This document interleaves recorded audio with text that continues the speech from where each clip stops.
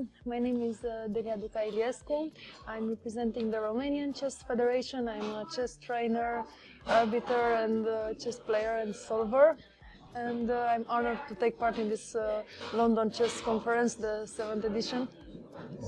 Thank you, uh, Delia, for joining. Um, but you're also a researcher, and you talk today about your research project in artificial intelligence. Can you Yes. just briefly describe your research project? Yes, so my uh, PhD thesis is about the impact of artificial intelligence in uh, chess.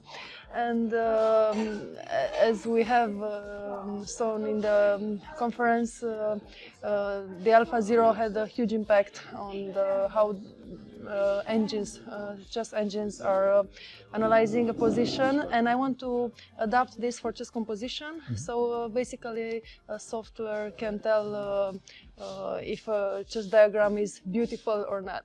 So, Can you tell a little bit how uh, how, how how this works? How the machine can learn about uh, what what is beauty, and is that that kind of is that your concept of beauty, or is it the machine's concept of beauty? It will be a supervised learning, so I will uh, uh, train uh, the engine to um, make the difference uh, by tagging some of the diagrams. Like, for example, those uh, 100,000 are um, not so good, those 30,000 are really good that were published, and then uh, eventually it will learn to make the difference between them.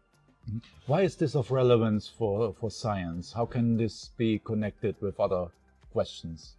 Uh, it's very interesting uh, in uh, all other aspects and areas because um, it's just that part that uh, used to make humans special, like the creativity and intuition and things like that. And uh, we are trying to enter in that area, not because uh, we don't appreciate the creativity of humans, but just to make it even better.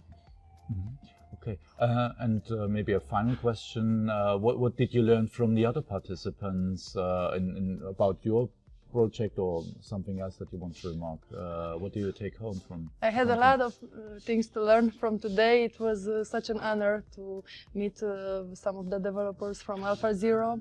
They made a wonderful presentation, and also to meet Judith Polgar right now, and uh, she's a legend for the chess. And uh, for me, it was uh, such an honor. Thank you so much for this chance. Okay, thank you. Thank you.